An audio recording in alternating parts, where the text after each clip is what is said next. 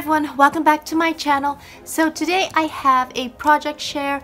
Um, Tina Epp um, here on YouTube reached out to me and asked if I wanted to do a swap and we agreed to do a Halloween swap. So we didn't specify any sort of project, um, just she wanted to keep it a surprise so I was totally okay with that and so I decided to make a loaded bag and I'm sorry she of course wants to join. Here it is.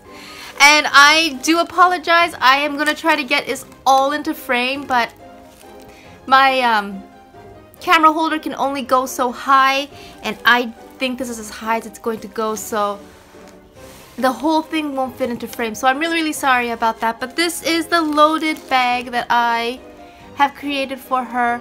And as you can see, I loaded it up. so um, I will pull everything out and then talk about the bag itself at the end. So first, I found these really cute straws at Michael's and so I included one of those. Um, here is one of those cupcake toppers that I got at Walmart. Here is one of those goats from Matt Garland that I hauled. And then here I have three bags. Now, the pocket in the front is not very deep. It's quite shallow, so I can only include um, small bags. So I just included these sequin mixes.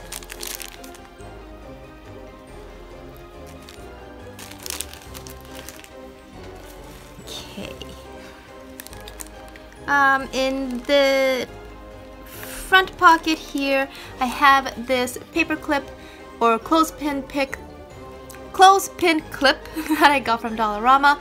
I actually included the eyes because it didn't have eyes. And you know what kitty cat doesn't have eyes? So I put on some eyes for the kitty cat. And then I included some of these gem stickers I got from Hobby Lobby. And then I have these foam shapes. I got some spiders and a couple of skull heads. I also included some store products. So I have this cupcake liner and picks as well as this roll of stickers that I got both from Daiso. This is a stir stick that I got from Target. And so in the next pocket, uh, I included one of these cards that I got from the Dollar Tree. Um, it kind of fit with the theme of the paper that I used because I used like a candy inspired print and so I thought this would fit perfectly with that. Um, I found these cellophane bags at Daiso and thought to include those. And also from Daiso I found these really cute cookie cutters.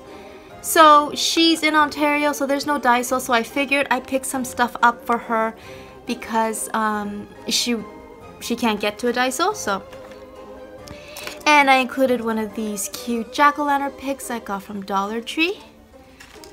Also got one of these candy corn picks I got at Michael's. So of course I had to create a wand. This is smaller than the wands I usually create, but still loving the way that it's turned out. So I started with a foam piece on the back and then um, I created a, I think it was a two inch rosette and I punched the edges with my Martha Stewart punch. Um, and then I laid a really thin spider web. I don't know if you can see here. There's a spider web behind the skull. And then I used one of those door hangers from the Dollar Tree and then trimmed it with some of this kind of tinsel garland I got at Dollar Tree. Um, I included one of the spiders from Michaels and the wood piece here, the skull is also from Michaels. And the bow I got from AliExpress. Uh, funny thing, I didn't have a purple, so I used my alcohol marker on a white bow, and I think it worked out beautifully. It looks like it was meant to be purple. And so here I have some of those flowers I got from AliExpress, and then I included some of those little spiders I got from Dollarama last year. I created a big bow out of this spider web ribbon and then included one of those Dollar Tree spider rings and the straw came from your dollar store with more. So like I said, a little bit smaller than I usually make, but um, I was afraid if I made anything bigger, it was gonna overpower the bag, so I decided to go with smaller. So I included some of these little um, brooms that I made uh, using some crepe paper and a paper straw I'll show you one of them.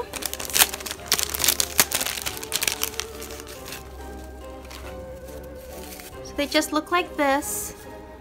Super cute. I found the brown crepe paper at your dollar store with more. And the straw I think came from Dollarama.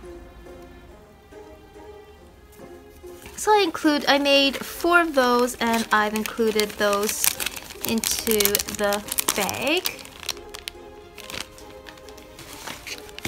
I included this paper pack that I got from Daiso and I topped it with uh, some doodlebug paper and a spider web kind of doily that I got from Tuesday morning and this fun jack-o'-lantern I got from Walmart and I just included the uh, Halloween design paper that they have. I know I've used this paper, it's super thin, but it's really cute and they're actually really good for like doilies and things like that, so. I included that. I made these embellishments and I was inspired by um, the swap that Scrap Diva 29 received and she received these embellishments from um, I'm not sure if it was her swap partner or if it was just somebody that sent her some gifts, but she made these adorable, beautiful feather rosettes and as soon as I saw them I knew I had to try them out. So I love the way they turned out so I decided to make some for Tina. And on top I just have this black and white striped paper. I layered a piece of um, this spider web kind of mesh that you get at Dollar Tree. I think Dollar Tree? Yeah, Dollar Tree. And then uh, this cute ghost that kind of got ruined, so I'm to have to replace him, um, that I got from Walmart. And some more doodlebug paper in the back. I included some of these fun glow-in-the-dark stickers as well as this pack here that um, I just kind of put together with a topper. And um, I included another one of those feather rosettes and then I included one of those chipboard ghosts that you get at Target.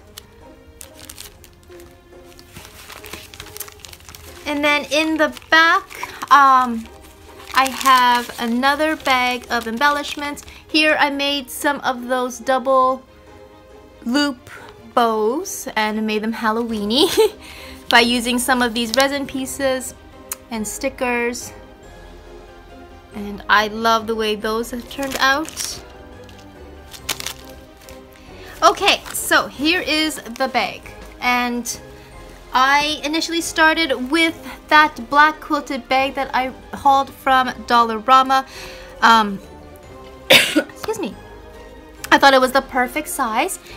And so I covered it with this cute candy paper and this kind of plaid paper.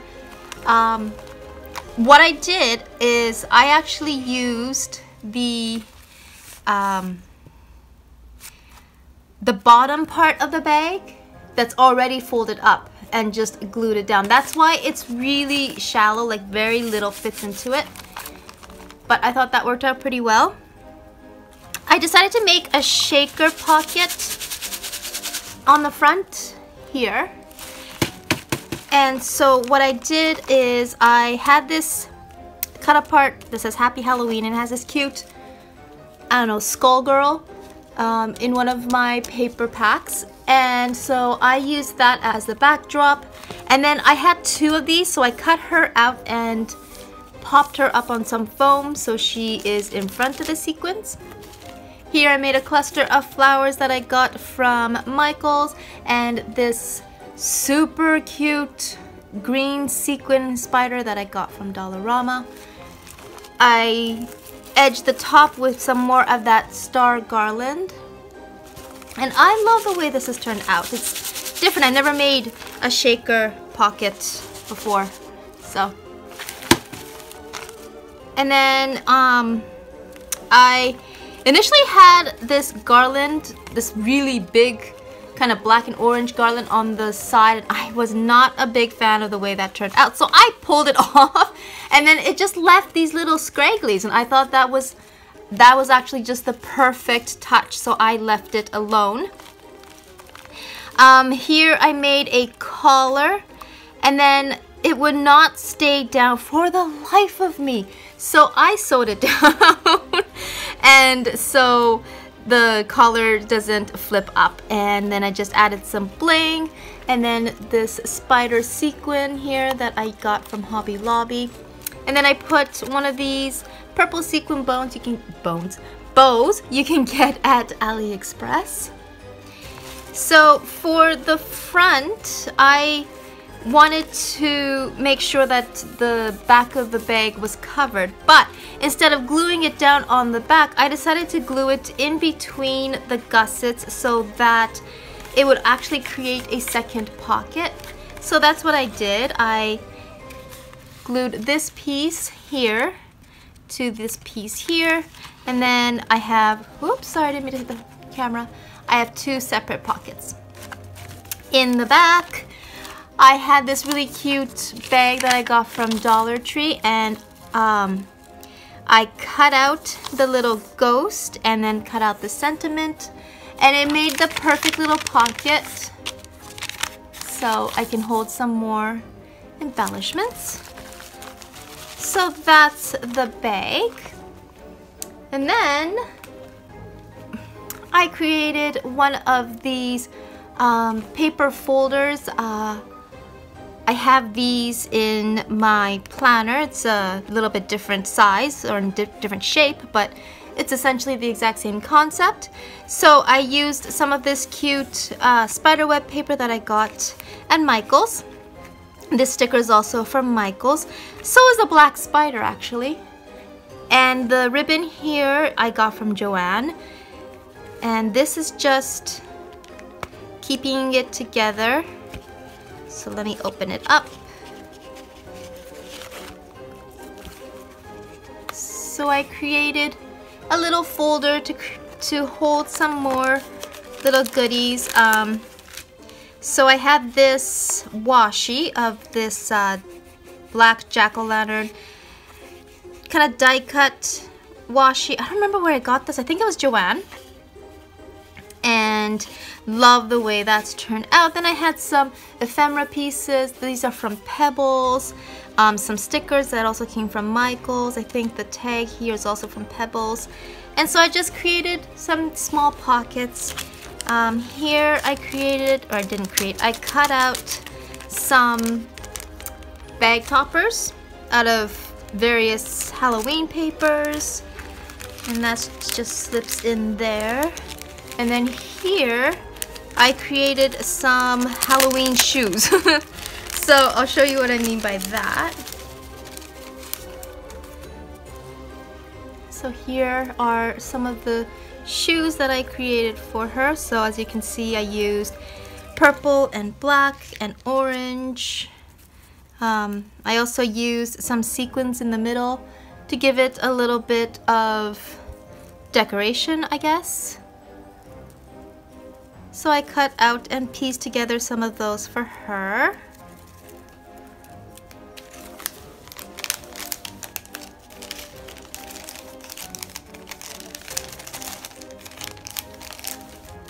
And that just fits into this pocket here. And then I just use this ribbon to keep it all together.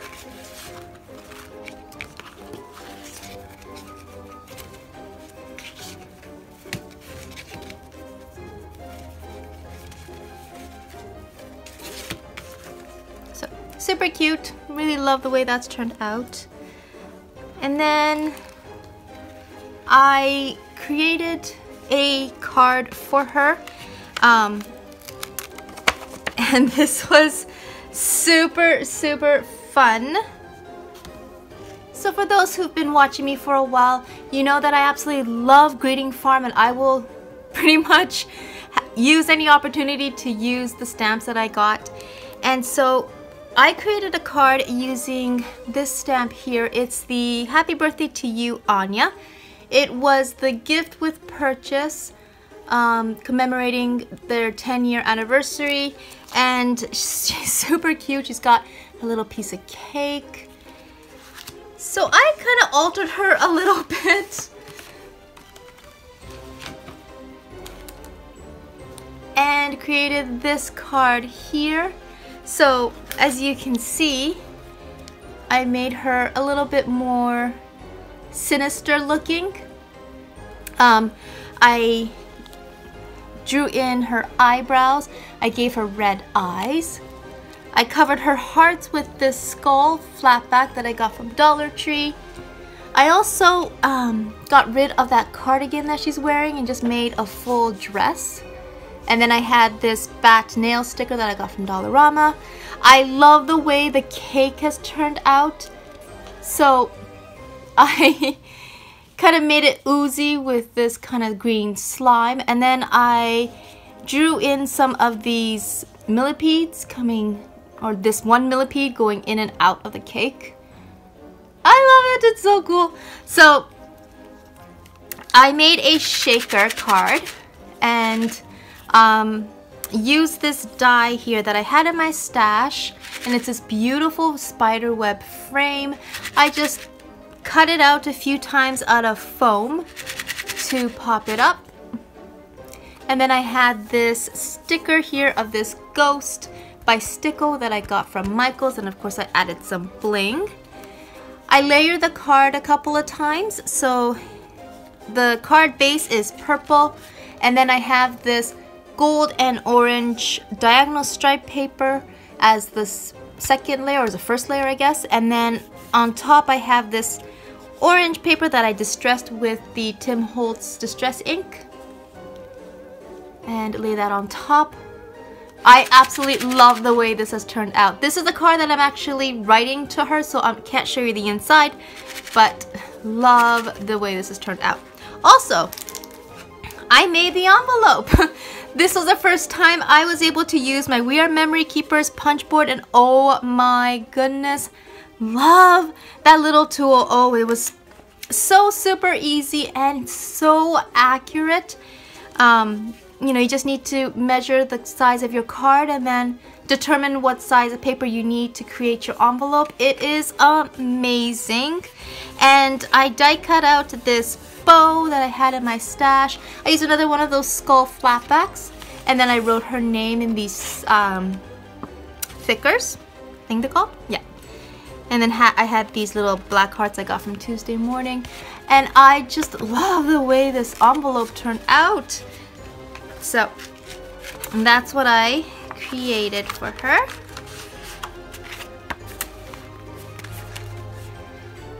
So, um, I won't be posting this until I know for sure she's received it and that's kind of how I usually like to do my swaps just to be sure.